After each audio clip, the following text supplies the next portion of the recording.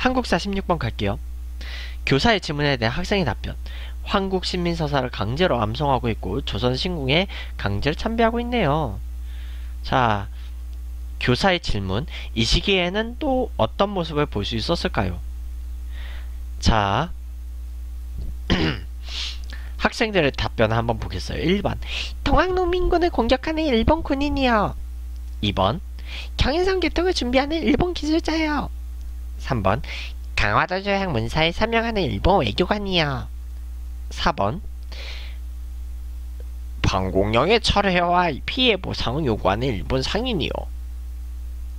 5번.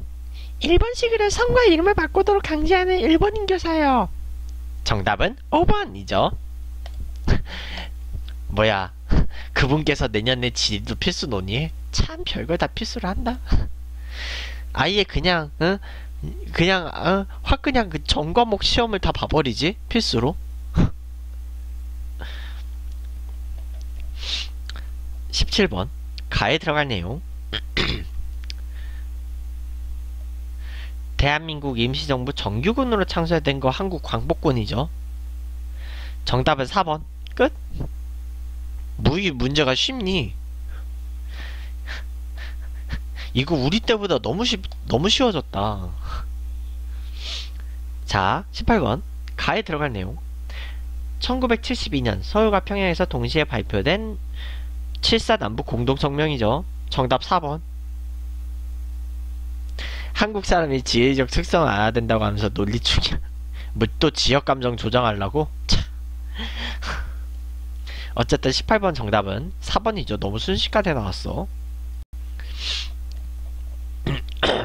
19번. 음. 다음 상황이 나타나게 된 배경에 대한 탐구 활동. 자, 신탁 통치 절대 반대를 주장하는 사람들. 뭐, 삼상 결정 절대 지지를 주장하는 사람들.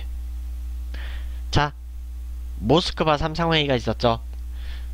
정답 5번이죠. 왜 이리 쉬워, 이거? 자, 20번. 가에 들어갈 내용은 옳은 것을 고르세요. 가. 자유당의 장기 집권과 부패. 3.15 부정선거. 자, 이것만 봐도 정답은 419죠. 정답 1번. 뭐야? 해설이 벌써 끝났는데요. 한국사 문, 한국사 영역 이번에 왜 이리 쉬워? 이번에 왜, 왜 이리 쉽고, 솔직히 문제가 너무 단순해요. 그, 자, 선택지에서 무슨 사건을 묻는 문제가 너무 많아. 그 사건의 또 특징을 설명한 선택지를 만들어야지. 왜 이리 문제가 쉬워요? 참, 어? 약 빨고 쉽게 쓴 거야? 어쨌든, 참, 이, 이번 6월 모의평가 한국사 영역 해설은 무슨, 응? 뭐냐, 녹화 분량도 뭐 지금, 어, 이거 제대로 못 채워가지고, 이따, 나중에 유튜브에 취합을 어떻게 해야 될지가 굉장히, 굉장히 궁금해지네요, 나 자신도.